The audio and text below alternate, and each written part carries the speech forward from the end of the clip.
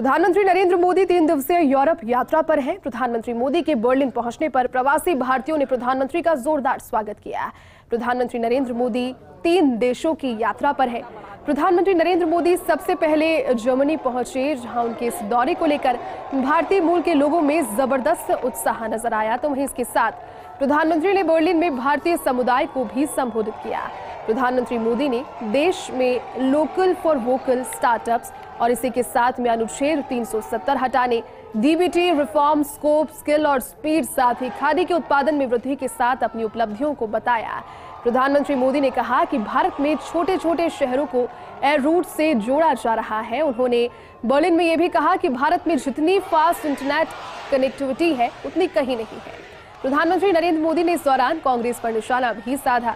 तो वहीं आज प्रधानमंत्री मोदी का डेनमार्क दौरा प्रस्तावित है और उसकी यात्रा आ, उनकी जो यात्रा रहेगी वो बुधवार को पेरिस में एक ठहराव के साथ समाप्त होगी जहाँ प्रधानमंत्री नवनिर्वाचित फ्रांसीसी राष्ट्रपति इमैनुअल मैक्रो से मुलाकात करेंगे।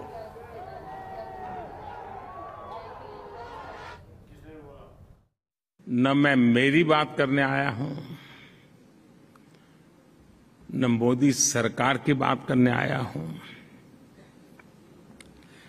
लेकिन आज मन करता है कि जी भर के आप लोगों को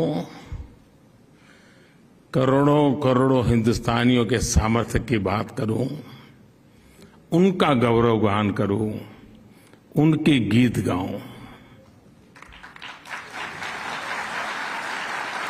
और जब मैं कोटि कोटि हिंदुस्तानियों की बात करता हूँ तो सिर्फ़ वो लोग नहीं जो वहाँ रहते हैं।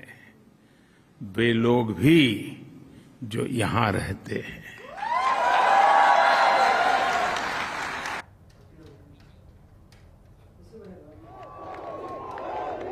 तो बर्लिन में प्रधानमंत्री नरेंद्र मोदी का जोरदार स्वागत किया गया आपको बता दें कि तीन दिवसीय यूरोप के दौरे पर प्रधानमंत्री मोदी पहुँचे हैं और आज डेनमार्क का दौरा प्रस्तावित है, जिसके बाद कल पेरिस में एक ठहराव के बाद उनकी यात्रा समाप्त हो जाएगी, फिर से वतन वापस लौट आएँगे। लेकिन देखिए, तस्वीरें उस समय की जब बर्लिन के एक ऑडिटोरियम में प्रधानमंत्री ने संबोधित सभा को किया और उन्होंने यहाँ पर जिस तरीके से गर्मजोशी के साथ में सभी का हाथ हिलाकर अभिनंदन स्वीकार भी किया, लोग उन्हें देखने के लिए बहुत ज़्यादा उत्साहित और एक्साइटेड नज़र आए।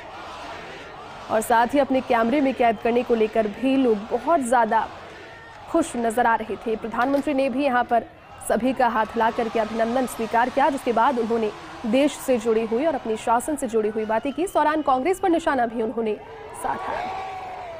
तो पीएम मोदी ने बर्लिन में भारतीय समुदाय को संबोधित किया। उनके यूरोप दौरे के दौरान आज दौरे के दूसरे दिन डेनमार्क पहुँचने का कार्यक्रम प्रस्तावित है, जिसके बाद पेरिस में कल ठहराव के बाद उनकी यात्रा समाप्त हो जाएगी।